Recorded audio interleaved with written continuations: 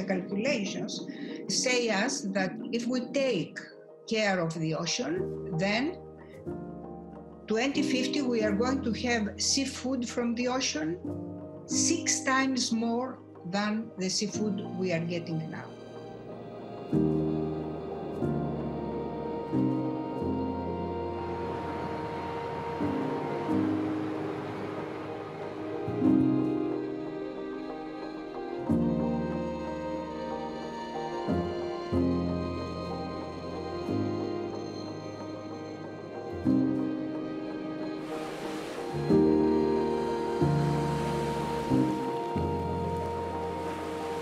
We have to modify the way we um, deal with the ocean of being mostly about extraction and not production.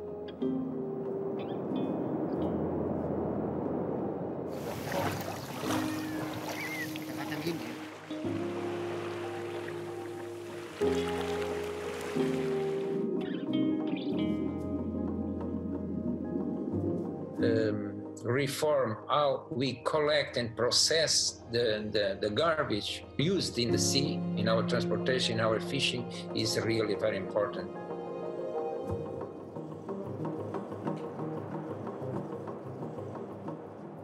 We ask and encourage other countries to join us with 2030 as their timeline so that we'll have all national waters sustainably managed by 2030.